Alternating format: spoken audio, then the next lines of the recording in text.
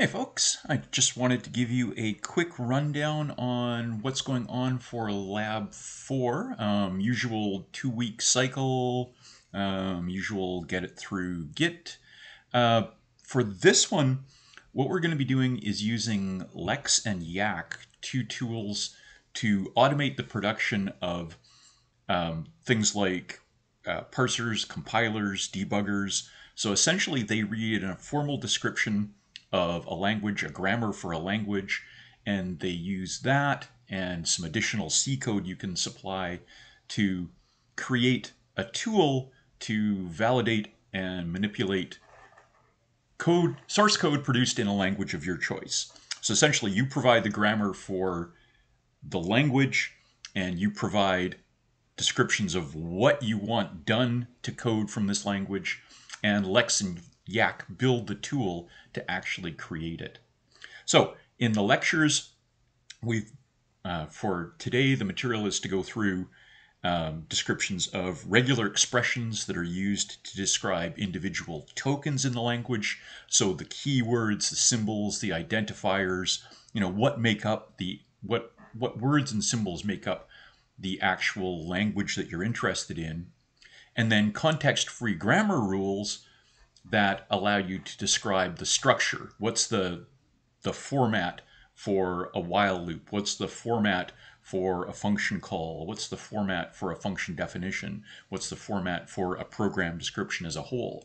So you get these kind of this set of context-free rules to describe how to compose things into valid pieces of the language, and then the regular expressions to describe what the individual tokens are that make that up.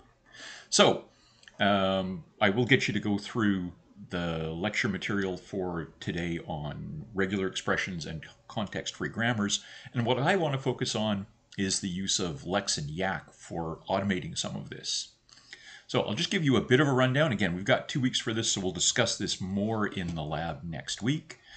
But what we're going to do is to make up our own little language here and then put rules in Lex to go through and describe the tokens, put rules in Yacc to go through and describe the grammar for the language. And for Lab 4, we're just going to get it to go through and validate programs written in this little makeup language that we create. So the language at the moment is a very simple one. Let me uh, just plow through. So right at this moment, the only things the program or, or that are valid in this little starter language of ours are programs that start with the keyword main, have the open and close curly brackets, and then a bunch of statements that are all of the form print, the keyword, and then some variable name, and a semicolon. So just a whole bunch of print statements. And that's the grand total of what it can accept right now. And then the individual identifiers are essentially anything alphabetic, upper and lower case, any sequence of one or more alphabetic characters. So right now, that's what constitutes a, a valid program in our language. And what I've done in the Lab for starter code is to create Lex and Yacc files that will recognize programs in that form. So we'll take a look at the Lex and Yacc in just a second.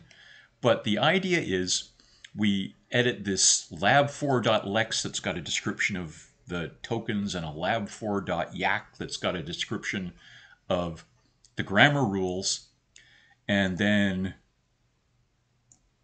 we just run make on lab 4 and if you want to have a look inside the make file you'll see what it does to go through and compile those lex and yacc files and produce an executable. But it basically goes through and creates this lab 4 executable. And then you can run you know lab 4 and feed it any source code. And it'll tell you yes or no is that valid source code for our language? So again we put the rules in the lex and the yacc run make, it builds the, the kind of syntax checker, if you like, for our language, and then we can just check things out. So if I had my my main code here in a um, in a file someplace and I just ran lab4 and fed that file in, it would say, yes, this is valid code. Uh, currently, the way it's set up is it's pretty much white space independent. So, you know, I, a valid program would also be something like this where it was just you know all on one line. So You can throw in any amount of white space and whatnot you like. And what I want to do today is to just run quickly through what it looks like in these lex and yacc files to actually um, to incorporate these rules to actually describe this language and then we'll talk about kind of some of the extensions that you're going to need to make. So we've got a main routine that's got this open bracket, close bracket, and in between it's got a set of one or more statements, each one of which is a print, an identifier, and a semicolon. So that's essentially what we want to go through and describe in the Lex and Yacc files. So in Lex, we'll identify that there's this keyword main that we've got to recognize, these two symbols, the open and close curly brackets that we've got to recognize, the semicolon symbol to recognize, the print keyword to recognize, and then these identifiers that are just you know sequences of alphabetic characters to recognize. So we'll have rules for the composition and rules for these individual tokens. And we'll just take a look at that. Um, so these individual tokens, the individual symbols and words, I'm going to describe as our main, print, the open close brackets, the semicolon. So I'm going to give each of them a name. I'm going to call them main, print, you know, L paren, R paren, semi, and then identifiers that I'll just call identifier. And again, they're just this sequence of alphabetic characters, one or more alphabetic characters. And then a program is composed of a main, a main routine is made up of the keyword main, a left parentheses, a block of statements, a right parentheses. This block of statements can either be one single statement or it can be a single statement followed by more. And a single statement right now is just the print token, the identifier token, and the semicolon token.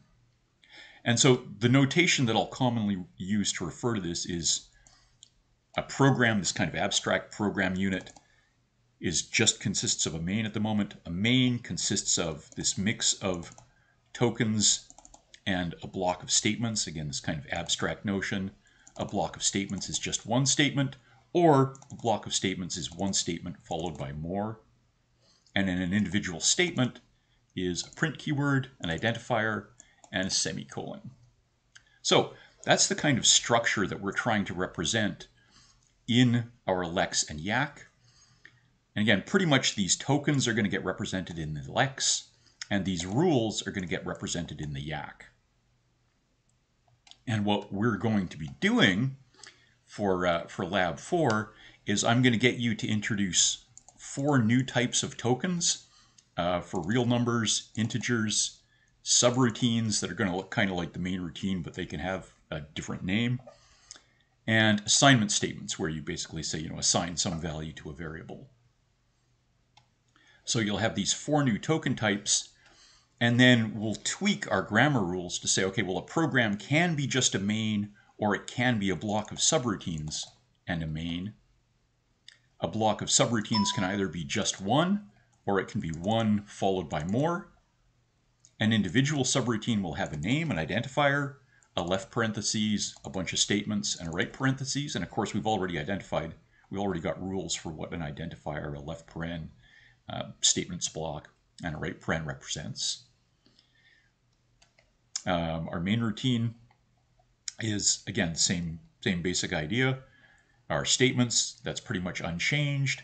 Individual statements can now be a print statement, which is the one that we had before. So a print statement was a print identifier semi or it can be an assignment statement or a subroutine call, where a subroutine call is just the name of the subroutine and a semicolon, and an assignment statement is just the identifier, uh, the assignment token, uh, the value you want to assign, and then a semicolon.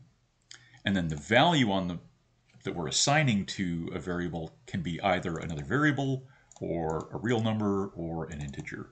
So this is what you're going to be incorporating into your Lex and Yacc as uh, the target for Lab 4.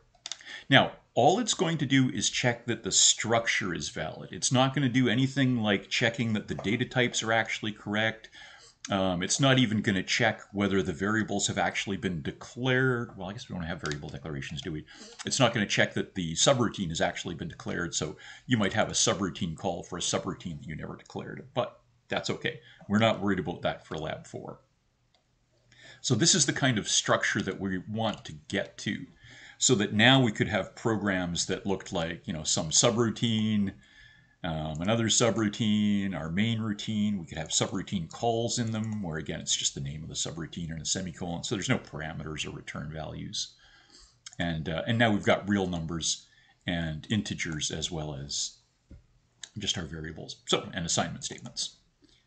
So this is where we're going. I want to just quickly take a look at uh, what the code looks like, and we'll dive into Lex and Yacc more in the lecture on Wednesday. But if we have a look at the lab 4.lex, for instance, essentially the way th these things are set up is Lex and Yacc are programs to go through and tokenize and, uh, and parse a program and apply a bunch of code rules you you've set up.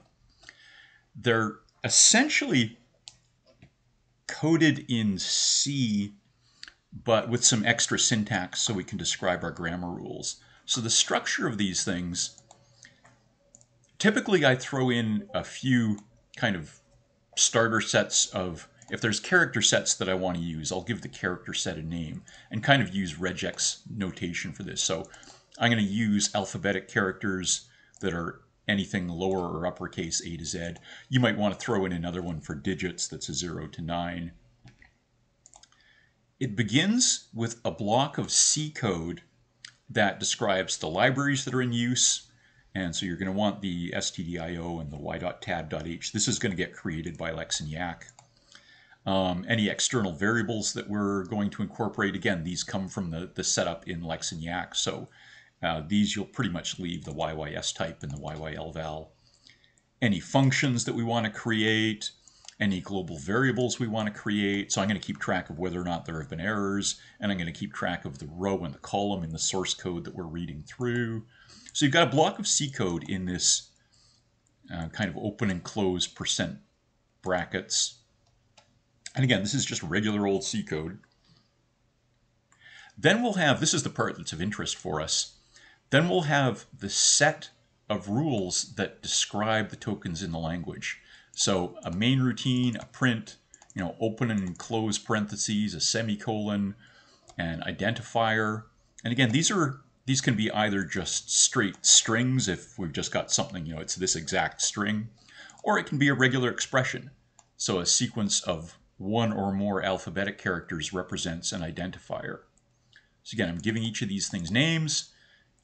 And what's happening is when Lex goes through and tokenizes our code, it's going to look at any time it sees a main in the source code, it's going to say, ah, this thing's a main. Anytime it sees print, it's going to say it's a print. And it just applies these rules in order, returning the first one that applies. We can tell it to just kind of skip over any white space it, it sees. So we don't have a return type in here, so it doesn't actually return a token type. And also in here, I'm keeping track of what row and column we're on in the source code. So when it sees main, it's kind of read through four more characters. When it sees print, it's read through five more characters. So it's bumping up our column numbers as well. And when it sees a new line, it's saying, ah, I want to go to the next line, the next row, and I want to set my column on that row back to zero. So I've got those global variables where I'm keeping track of the row and column. And essentially, Lex just goes through looking for these sequences. If we see any kind of character that doesn't fit with what we've described above, and that's what the dot symbol is going to represent, it's just any other kind of character, it's going to generate an error message, and that's pretty much all of this is. We're creating a, a text string for an error message, and then we're calling this yyerror routine to say, ah, it's broken, and it essentially stops the parsing process and says, no, you know, give give the user this error message, we're done, and as a token type, it just returns whatever weird character it happened to stumble across. And then if you look at the very bottom, you'll see the yywrap. This is just for kind of cleanup code that happens at the end of parsing.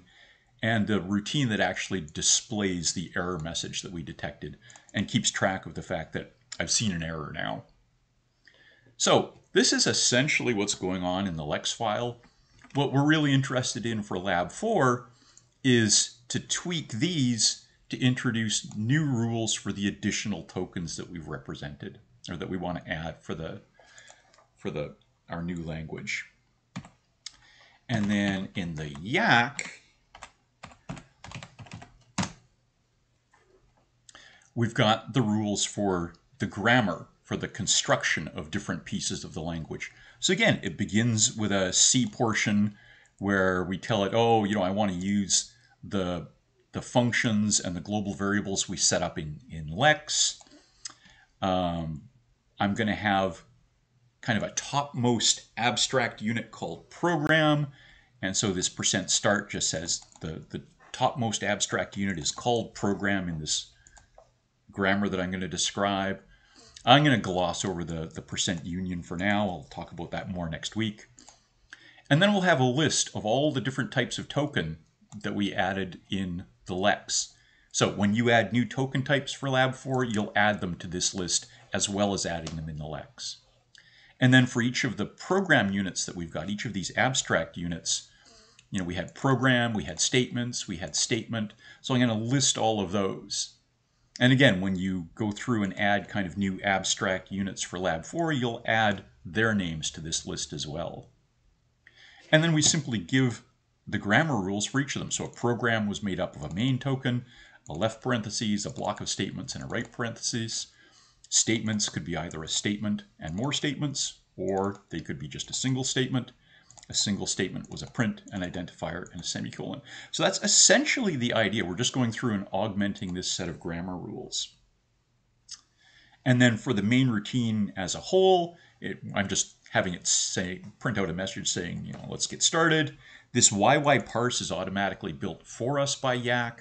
And it goes through and applies our Lex and Yacc rules to the code to see if it's valid or not. And then if any errors were detected, it says parsing failed. Otherwise, it says parsing complete. So we get this message at the end that says yes or no, is the code valid? So that's kind of the idea that I want us to work on. And again, so I've got a couple of examples of valid and invalid programs that are in the repo. So there's a, a valid one. And if I happen to run my lab for, oops, I guess I better compile it. Yep. Uh, okay. Uh, so we'll we'll try running our lab four from valid tests one and What did I call it here? Oh, just test one. And it says everything's okay. And if I do the same sort of thing with some of the invalid code that's supplied, it's going to say there's an error detected. So if we have a look at that invalid error one, you'll see that the error is it's actually missing the opening left parentheses. So there's the goal. We'll spend more time talking about Lex and Yacc on Wednesday, and obviously more time on it in the lab next week. But hopefully that'll get folks a chance to uh, to get started with it. And in the next lab, Lab Five, we'll get into actually having this do more realistic things like checking if variables have been declared or not, and checking if types match, and all that kind of idea. But we'll leave it there for now. Um, have fun going through Lex and Yacc and the grammar material, and holler if you have questions.